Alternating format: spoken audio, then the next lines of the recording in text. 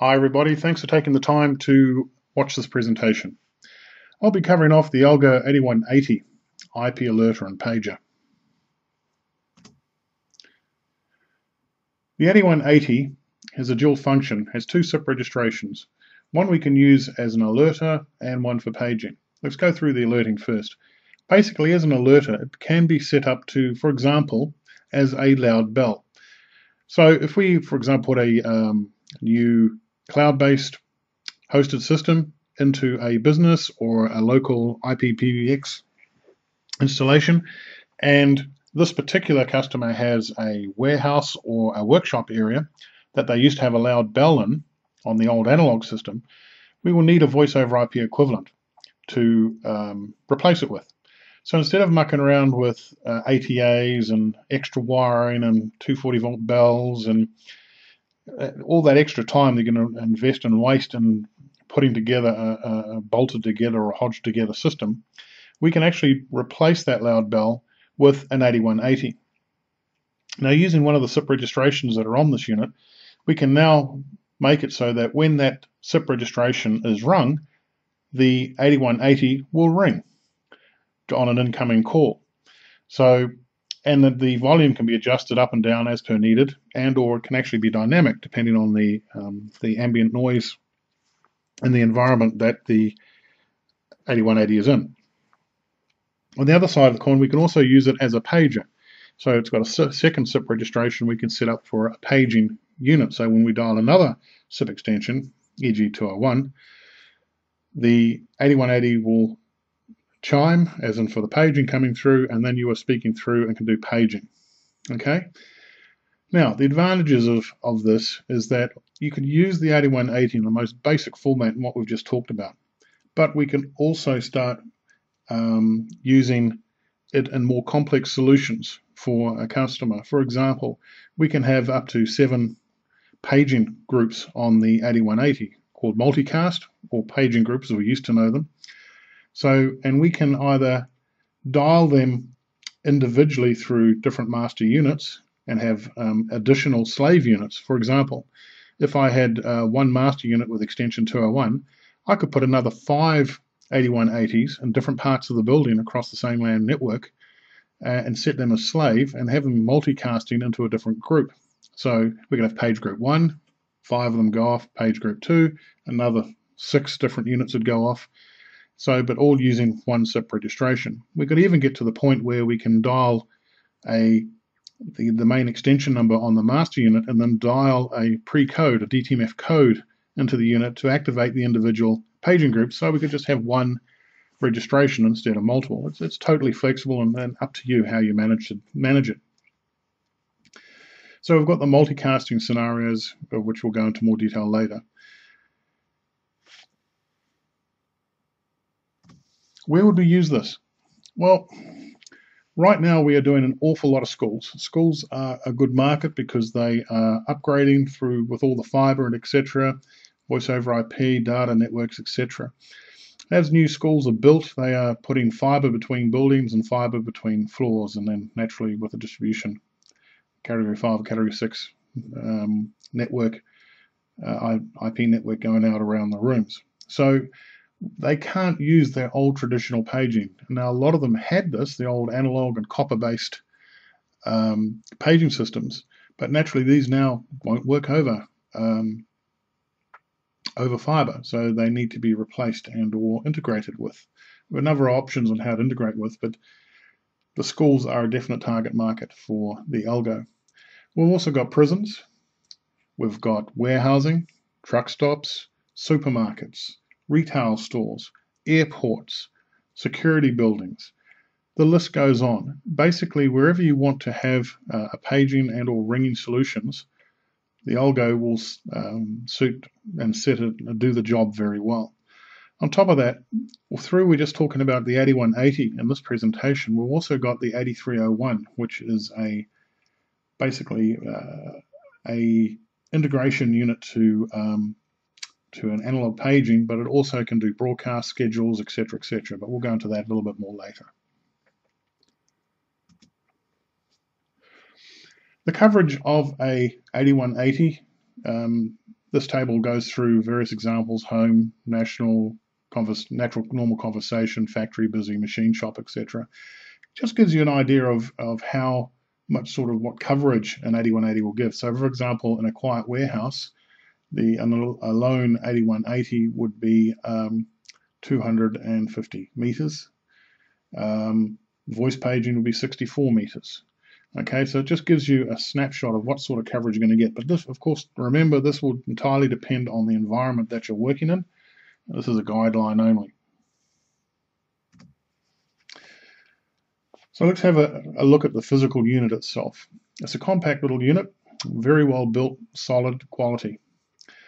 So this is the uh, the front view. The two things I just wanted to point out on this is that number one, you've got a little microphone here. This is used in conjunction, it's optional, can be used in conjunction for when you page or call the unit on auto answer, you can actually talk back and have a two-way conversation because it has this, this microphone all on board. So uh, areas, sort of examples you'd use that in is in a classroom where you've got the um, an 8180 for paging within the classroom and you can actually activate it, ring it, and then people can actually yell back at you if you're looking for the teacher or whatever application you want to use it for. The blue light indicator down the bottom here tells you the status of the system, what's happening with it, and you can also program it to be a message waiting light if you so wish. For example, if there's a message in the office of somebody, it'll sit there flashing blue. So again, just another little little trick you can use to the, do with the units. This is the back of the unit. I want to spend a little bit of time here because it is, is actually very well put together and, and the techs actually love this unit because it is so damn easy to install. Um, fundamentally, you've got a network connection there. That is PoE. That's how you power it up. If you don't have uh, a PoE switch or um, to plug into it, you need to get a PoE injector. You've got the terminals here. This is a, an output. The first two here is an output for an external speakers where you can actually put, uh, it's an 8106 uh, bullhorn, Algo bullhorn speaker on it. So you could actually have this unit here paging in a warehouse and then cable off a analog bullhorn off it to page in another zone. So you're double, doubling the area that you're actually covering. You've got an audio input and you've got a dry contact relay. Let's just move over, over to the right hand side one where we've just gone down this list here.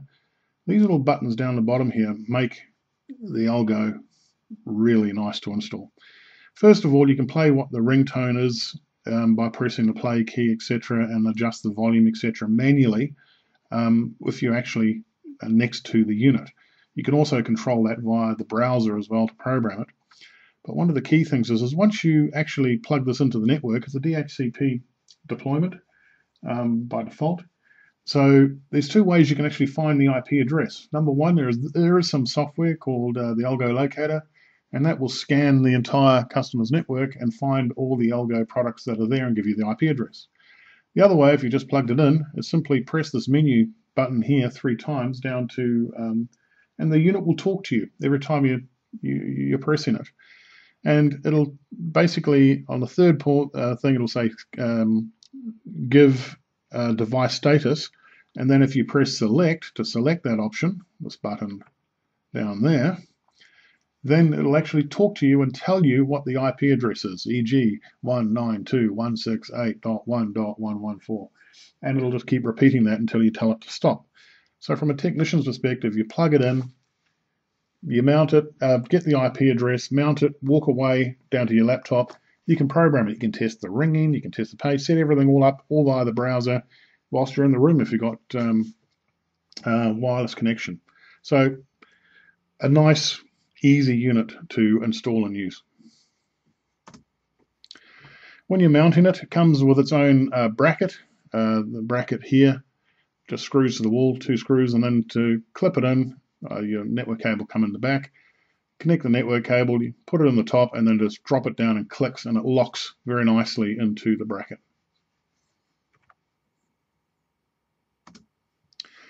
physical dimensions of this thing, it's not a huge footprint at all, so it's uh, pretty unobtrusive. It's 16 centimeters high by 10 centimeters wide, and at this point here, it's 5.5 centimeters at the widest point. And there's the footprint of the, the bracket. Pretty straightforward. Some of the specifications, just a couple of points or through, you can look through the list yourself here. Just a couple of points I want to point out. Number one is the power input, 48 volt PoE, class zero, okay?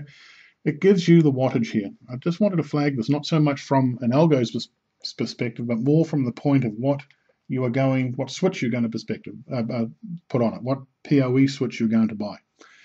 A lot of the PoEs aren't created equal. Some of them are sort of say, well, I've got a 60 watt maximum power allowance, or a 55, or an 80 watt, or a 70 watt, or 120 watt. When you're deploying a voice over IP, um, when you're deploying voice over equipment full stop, please be aware of what the maximum loads are of each device. Otherwise, you could overload the um, device to the point devices could fail. Okay. Now, an algo at maximum power draw, an 8180, is 12.95 watts. Now that is generally at paging or ringing at full volume, so the amplifier is really cranked up. At idle, it's only one watt. Okay, so just just when you're putting together your solution, just just manage what PoE switches you are using or what PoE switches the customer has got, and just be aware of the trap because of post deployment, suddenly uh, a phone starts playing up or an algo um, uh, 8180 restarts for some any reason when you're paging, 99.9% of the time that will be your problem. The PoE switch is under spec. Anyway, configuration, web interface, you can auto provision, etc. Talks about the sound, internal memory is 3 meg for um, recordings, and you can actually set, uh, record your own announcements and recordings and ringing and etc. and load them up into the um, the unit. The relay, um, 30 volts, 50 milliamps, speaker output, audio output. It talks about the default ringtones that are loaded into the unit, what environment you're meant to be in. Non-condensing, don't put it in the rain, it's not waterproof.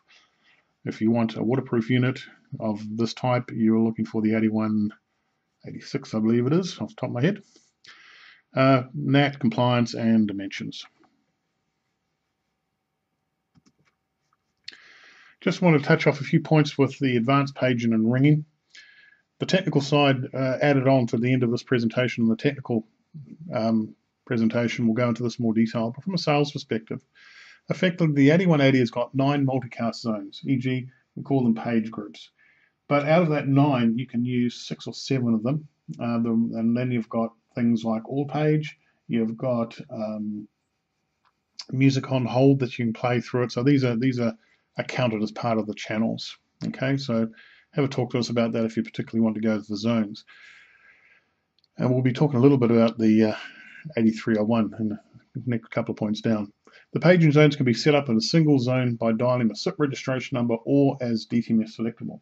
Now what that means is that, let's just pick on the DTMF selectable. Let's say we've got one master unit and then we are going to dial into it and then dial, dial the extension number and then star 1 and that'll page star group 1, star 2, group 2, 3, etc.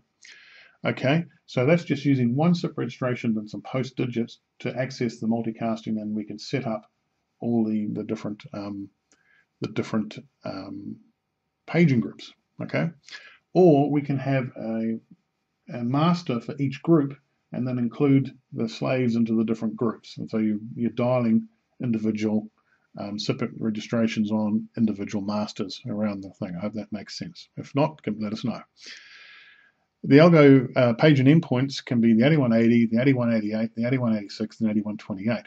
Fundamentally, very much the same. So once you get your head around what the 8180 can do, for example, the 8186, which is the bullhorn weatherproof version of this, is just about identical in, in regards.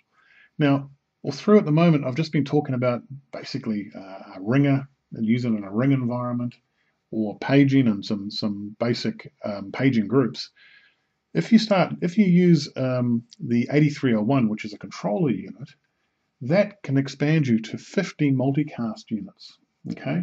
Now, on a, a large site, this is this is really a controller is, is the way to go.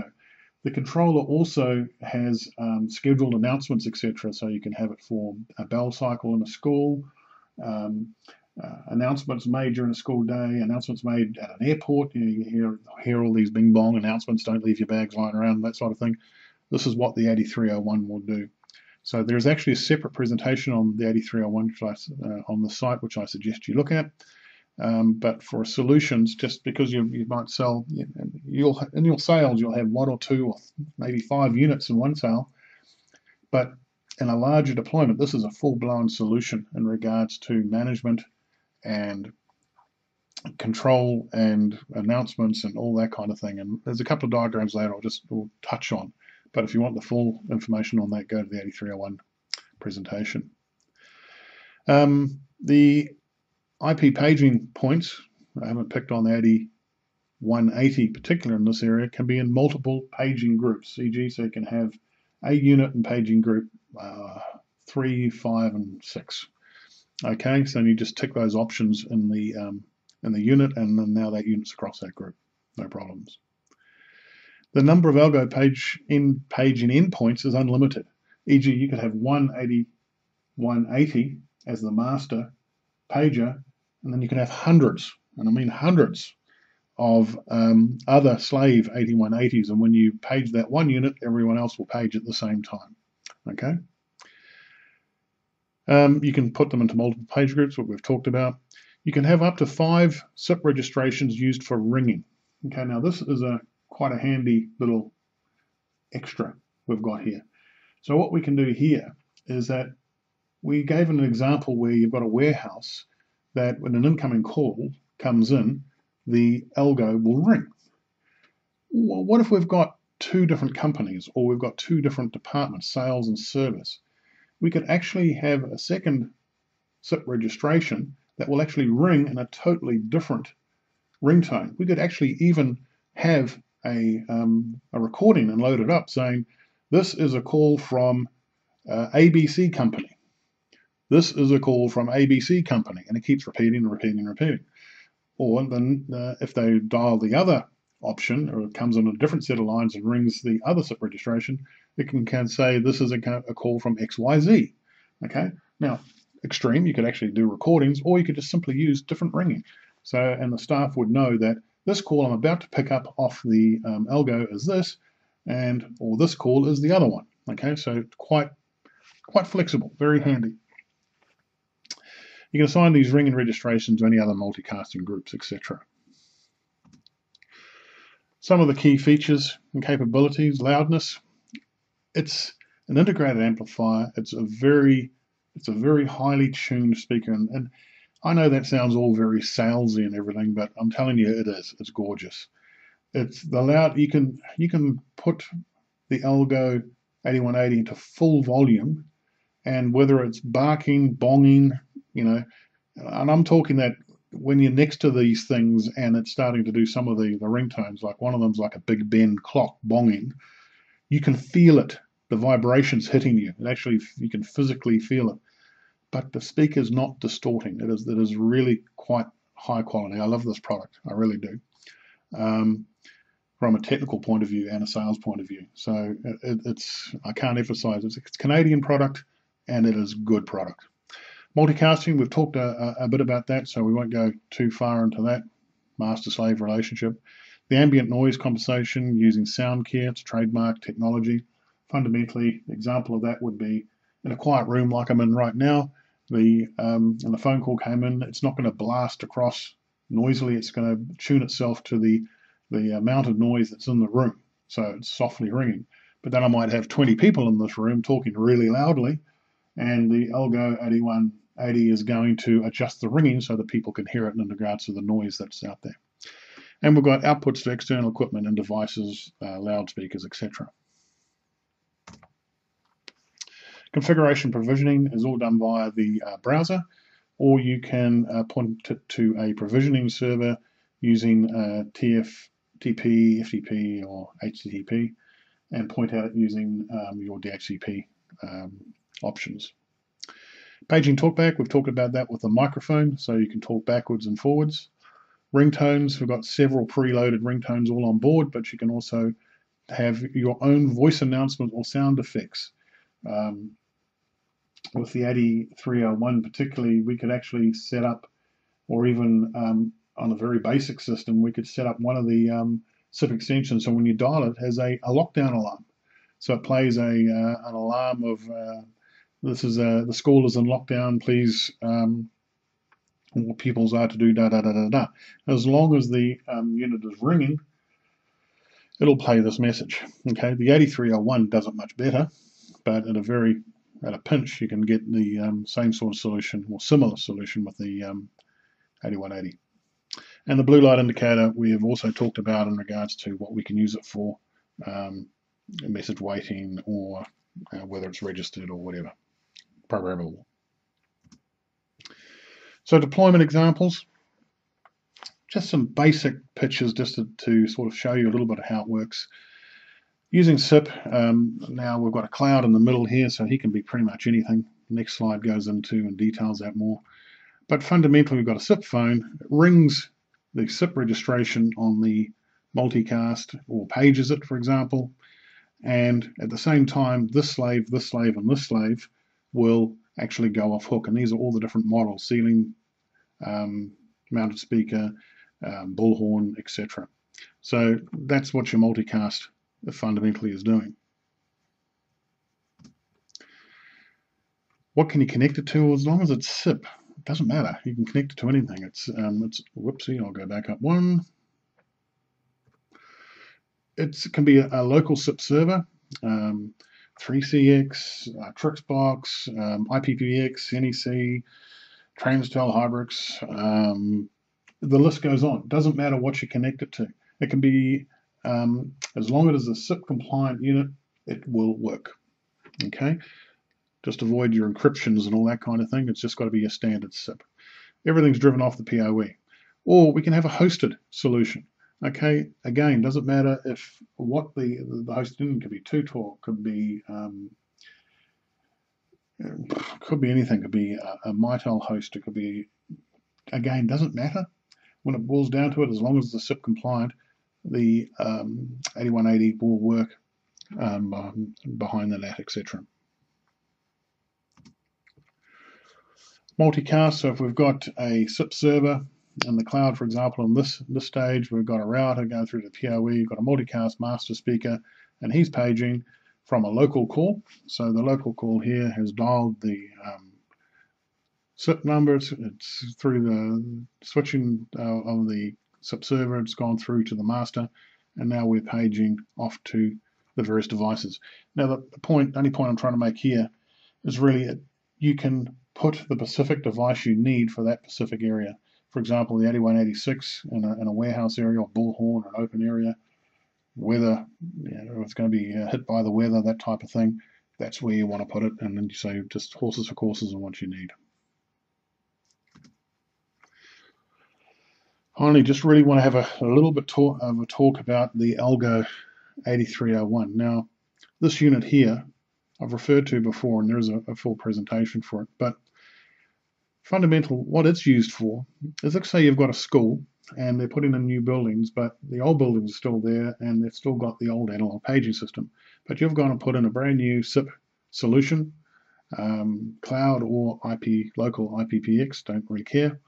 We need to integrate that with uh, that, which is an analog amplifier. Okay, so the first thing that the 8301 will do is that you can set it up as a SIP registration. It'll interface through to your existing analog amplifier. At the same time now, it will also now start managing your SIP um, paging speakers, e.g. the 8180s or 8186s, etc. So you can now start setting up your, your, your, multicast groups and paging and all that kind of thing through to um, your new part of your building, which has all got fiber all through the floors, etc. And finally, the other thing it does is it's got a scheduler functionality in it. So we can have years, days of the week, and set a whole bunch of different scheduled plans into that day. For example, we could on a school we could set up the bell uh, environment. So for you know pre-bell before getting to the first class, 15 minutes before you get to class, the class starts, class stops, lunch times, um, morning teas, afternoon teas. Um, even to the point if you have a parent teachers day, you can actually have um, announcements going off through the paging system telling parents when to get in and out of the next to the next meetings. You can have it in a, um, a retail shop you've got scheduled music going through the PAs and background music, which is piped in. But then you've also got announcements, the, the, um, the, uh, the, the staff accessing the paging system via the phone for announcements, but also pre-planned scheduled announcements, safety, OSH. The, the list is boundless in what you can do with this thing. You can, in a, in a, in a factory environment, you could have OSH announcements playing regularly through the day, saying, don't forget, don't put your hand in the bandsaw type scenario, you know? It's, it just continues on and on the imagination suddenly starts going a little bit crazy. So this is a really good product and it complements anything that you're currently selling in whether you're selling hosted or um, on-premise um, IP equipment. This is uh, really a nice little unit. Okay guys, now we can actually um, have a look inside of the um, 8180 to see how to program it. So as you know earlier, if you press the um, select button on the back of the um, phone, you can get the IP address number. And once you've got the IP address number, you put it in. In my case, it's 192.168.1.14. So I'm going to log into there. And this is the um, main login page. Throughout the whole thing, the actual um, unit's actually telling you a whole bunch of information. You've got your firmware version up there. A few things about um, registering your SIP registering your um, algo, etc. So anyway, let's log in. So the password is algo, tells you that by default. And in you go. So this is your basic settings. let's just, you know, most of these should be very familiar to you, but we'll go through them. So there's your uh, the SIP domain. Um, so we're going to be pointing registration at. Leave it at uh, monitor ring event register on SIP extension. Page function is enabled, allow SIP register is enabled. So what you've got here is you've got two registrations. First of all, you've got a ring extension. So there's ex ring extension number, authorization ID, and password. Okay. And then if you move down the page, you have got your page extension. So that would be a different extension number from here. So in this case, we could go 896. 896 and then the password. Okay, and then once we've got that, we go save. Okay, so only rule about this here is make sure you use two separate extension numbers. If you register it as the same, you will start getting a lot of problems with paging and ringing happening depending on which one's registered first because the um, the algo will actually try and register both and your SIP IPBX or server will only take one registration. so once that's done, let's move move on and you'll be registered. This particular unit is actually offline, but just to give you an idea on how to program it. So if we go into the ring tab, I'm still on the basic settings, we can now set our ringtone in regards to what sort of ringtone we want and whether it's going to be dogs, chimes, buzzer, ringing, etc., etc. We can set a ring volume as in very loud to not so loud. Okay, so that is just by control here right down to very low.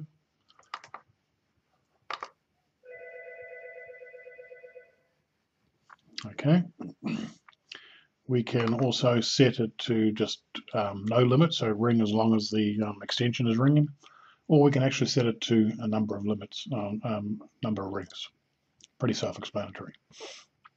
If we move into our page tab, we can now go into what is our page um, volume going to be set at. and again, 1 through to 10, and we can apply that. Our page mode, where there's one way or talkback. Okay, so generally it'll be one way, but you might have a situation where it'll be um, talkback. Timeout, e.g. it'll stay open um, for no, sorry, it'll stay open as long as you're paging, or we can actually put a timer on it if you so wish what page tone will be played when you um, access page. So this is just a page notification, which is like a uh, it's just like a tone, and then the um, your page and voice comes through. your G711, it's G722 support, automatic gain control, and um, delay. You can pretty much leave that at default. Still on your basic settings, have a quick look at your multicast. Now, this is going to tell you whether you're going to be using multicast. Now, set to none by default. None means that it's going to page and ring and, and page, etc., all by itself, e.g. there's nothing else attached to it. If I set it to master, I immediately get these um, these options opening up. And what this is basically saying that um, this is a single zone and it's actually zone 1, but I can set it to the different zones. So I've got priority call, all calls, zone 1 to 6, and music. Okay, so I'm set this one to zone 1. Okay. Um, the other setting I can use here is using DTMF. E.g. I dial the extension number, then dial a code, and I can do a single zone if I so wish and select the zone that I want. Okay, a lot more details are in the manual on this, but um, it just gives you a look and feel of what, what we're doing here. So that's your multicast. The other thing is that when we're setting our slaves, I then can say that I'm a slave and I'm actually going to be um, sitting in zone 1, zone 2, so I just tick what zones this slave is going to be in. So if it's only going to be in zone 1, no calls, no priorities, I just simply go like so. Don't forget to press save down here. But if I wanted in two zones, I just tick the two zones I want, and away you go. Now this is in basic mode. If I click on expanded mode, suddenly I've got 10 to 50 zones coming up. These are if you're using an 8301 controller unit. It's because it's got a whole bunch more zones in it and you can set up a lot more complicated um, solutions. And the other thing I wanted to show you, I'm just going to click to here. I just want to go to your advanced multitask sorry, multicast. And this is how basically the the um, the ports that we're actually going to be transmitting across, okay, and the different um, we can have the different uh, zones paid, uh, sorry, chiming in different um, different ways. Okay, hope that makes sense. So that was our basic settings back here. So we're now going to click into advanced most of this is look it should look pretty familiar with for you. You've got your static IP or DHCP by default DHCP. If you're going to be running VLANs, differential services and um, D, uh, DHCP timeout, etc. and seconds. Your admin covers off your password for logging into the beast, the host name, uh, broadcasting across the network. Um, introduction section on the um, status page, sorry, the um, status page if you want it on or off. Web interface timeout, e.g. if you don't log out. You can um, adjust times that after one hour. Log levels, etc. Hardware watchdog, etc. The time, again, pretty straightforward. If we're going to um, just put our, our, time zone in of uh, what we want, and um, away we go there uh, NTP server. Provisioning. Provisioning is either enabled or disabled. Um, DHCP by default is enabled, but it uses DH, DHCP option 66, which is running on your DHCP on your network and redirects it to a um, provisioning server. Talks about the download, download methods and the paths that its files are sitting in. The tones are simply basically what do you want it to play? For example, you're ringing, you've got all of these different um, ringing options here. Um, oh, I won't do that. But these are the files that are actually there. The thing I just wanted to show you down here is you can actually up, um, delete, rename, you can actually upload files here. So as long as they're in 8 kilo, kilohertz and 16 kilohertz 8-bit mono uh, PCM UA files, you can actually create your own um, own files and upload them to the 8180. So this can be for set announcements, ringtones, anything you want it to do. Advanced ring alert. This is quite a handy little beastie. We've talked about the first SIP registration for ringing and paging. Well, this is a, another four sets of registrations for ringing. So again, I can add another extension here. Say, for example, 200, authentication 200, password, and um, then when I ring it, what tone do I want it to ring? So again, this was um, from earlier in the presentation, I was talking about um, uh, having a, a, warehouse where you've got two companies in it and you want the one ring, one company to ring one way and one company to ring the other. The algo can do this easily. And so the staff can identify who's who's ringing and answering. Okay. Moving on, because this is just a quick overview. Speaker mode, um, auto, internal, external, disabled. Okay, what this is meaning is on the back of the um, on the back of the 8180, you would have seen an output speaker. Okay, auto means it's whatever it's been told to do. External means use the external speaker only, and internal means use only the internal, not the external. The relay mode is both ring, page, and what you're going to use the relay for. For fire, do you want the message waiting light on when there's a message or flashing when there's a message? Heartbeat light, enable, disabled, e.g. the blue light's just sitting there flashing. This is um, on the actual 8180 itself. And the page light, so when it actually pages, does the light come on? Um, internal um, speaker terminal input, etc. Advanced SIP, we start talking about proxy servers, etc., and uh, using differential ports, etc.